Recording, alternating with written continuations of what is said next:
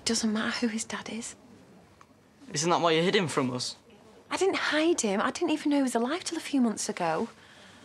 Please, just come and meet your brother. No. Noah? Noah, trust me.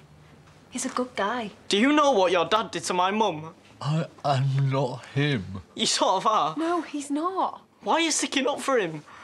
After everything? Because Ryan's done nothing wrong. Neither of you. Why are you bothering her anyway? He's not bothering me. Babe, I want him here. Do you know what you are?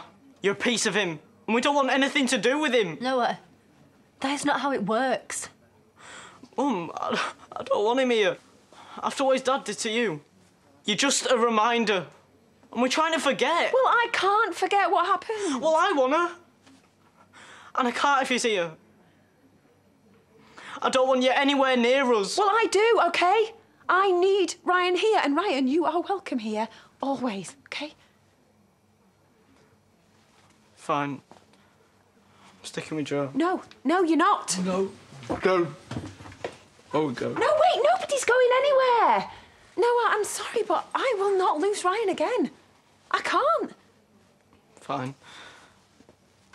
Then I'm going.